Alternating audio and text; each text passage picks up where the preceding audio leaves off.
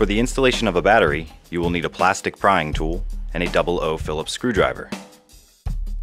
You may need a pentalobe driver if you have a 5-point star pattern on the screws.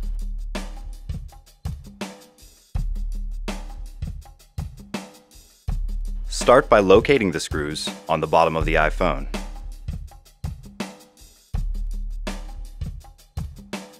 Remove the screws using the appropriate tool.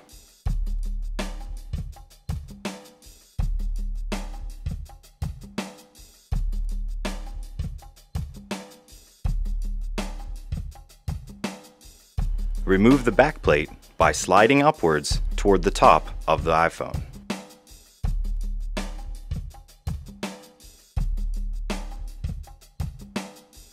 For AT&T model, there is a black metal piece with a white dot at the end. Make certain to keep this piece in place. Remove the Phillips head screw retaining the battery cable.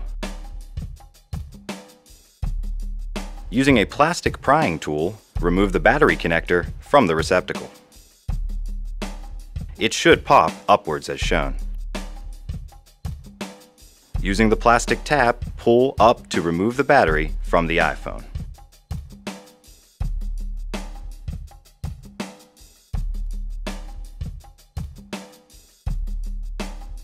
Make sure to line up the new battery connector with the receptacle before seating the connector.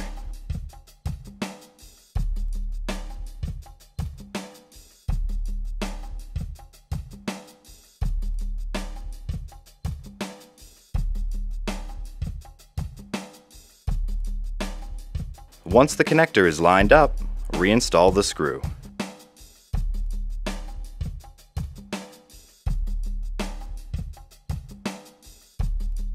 Make sure the camera lens is lined up with the camera.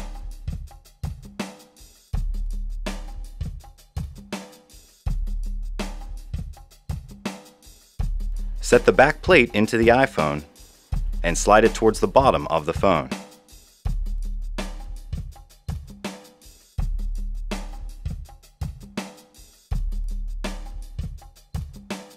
Reinstall the screws and do not over tighten.